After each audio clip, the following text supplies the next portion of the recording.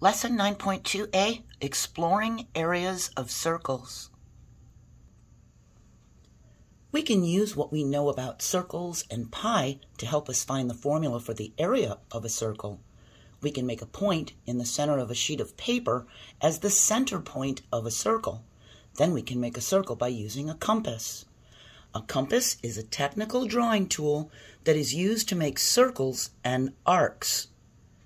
A compass has two legs connected by a hinge. And usually one leg has a spike at its end to anchor the leg, the other leg holds a pencil.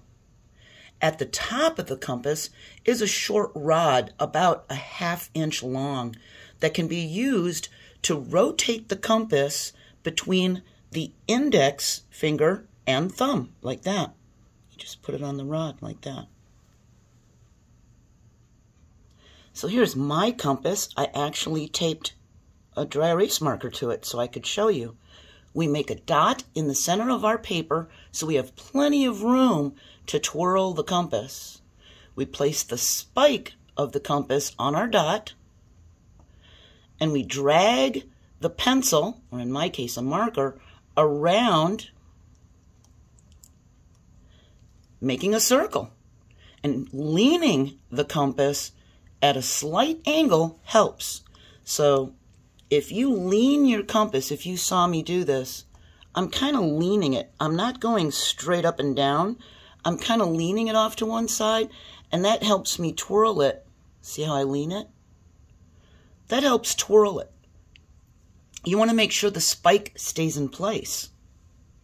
Now, if we don't have a compass, we can use a protractor.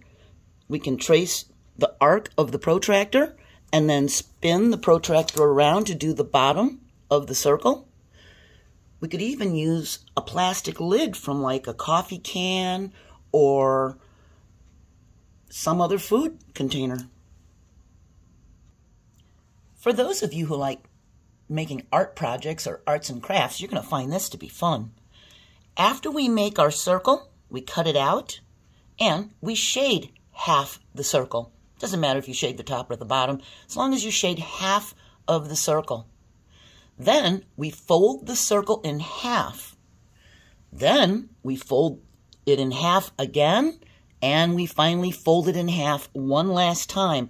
That's going to be three folds so after shading half the circle, we fold it in half three times until it's a small wedge shape.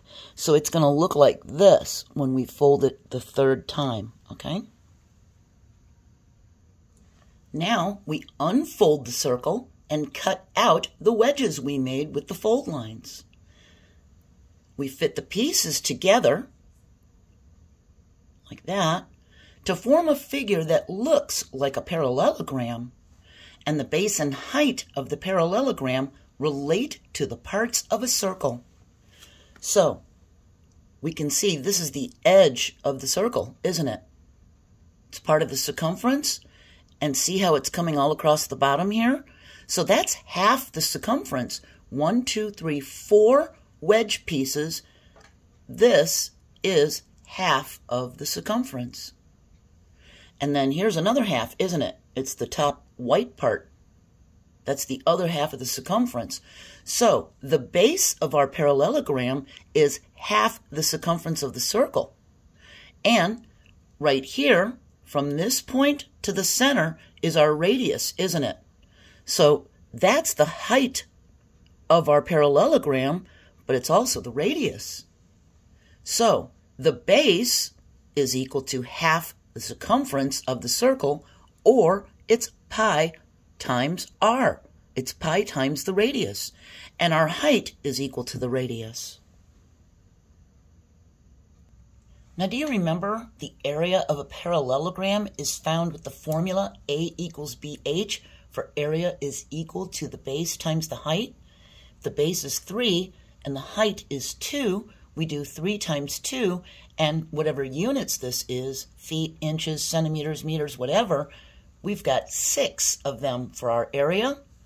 So to find the area of a circle, we substitute half the circumference as pi r for the base and the radius for the height. We get area is equal to half the circumference times the radius, or pi r times r. See, pi r times r. And since we have r times r, we can write it as r to the second power, or r squared. That means the area of a circle is equal to pi r squared. When we made our wedges before, we folded the circle three times. If we fold the circle four times or possibly five times, our wedge will look more like a parallelogram because the arcs won't be as obvious. Before, if our wedge was this big, you could see the arc. But if we cut this in half by folding it again, the arc is smaller and it looks a little more straight, doesn't it? It's not as obvious.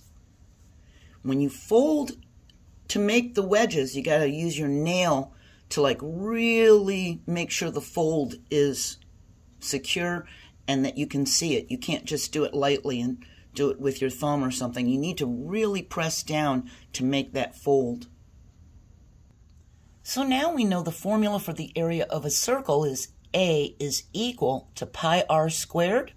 We can find the area of the circle to the nearest tenth, and we'll use 3.14 for pi. So it's showing us a circle with an 8 centimeter diameter. Well, we know the diameter is twice the radius. This would be the radius, wouldn't it? It would be half of this. So we know if we divide 8 by 2, it would be 4 centimeters for the radius. And we can substitute that into the formula. We have area is equal to 3.14 times 4 to the second power.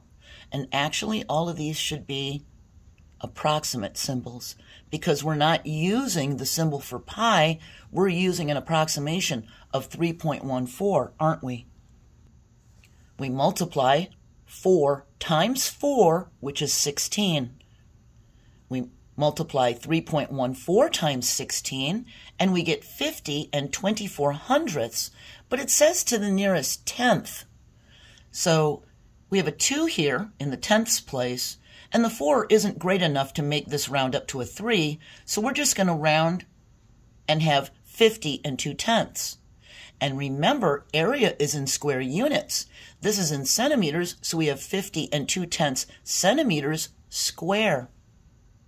Now, another thing I want to point out is some people may get confused and think, well, if this is radius squared and we know the diameter is twice the radius, we can just use the 8, but we can't.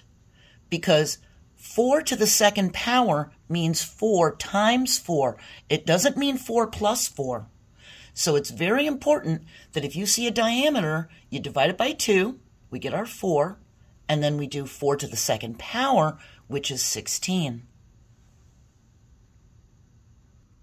So now we did our artwork and we had some fun and we finished 9.2a. We're going to move on to 9.2b, finding the area of a circle. We're going to use what we learned in this lesson. As you draw circles and arcs with a compass, you'll get better at it because you'll have more practice. Have a wonderful day, as always, and I hope you join me for the next part of the lesson. Bye.